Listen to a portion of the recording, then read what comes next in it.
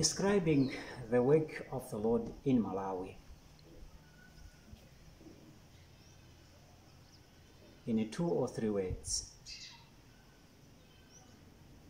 A country of so many gospel opportunities with a few workers, with a lot of people wanting to learn the truth, yet with a few people who can give out that truth.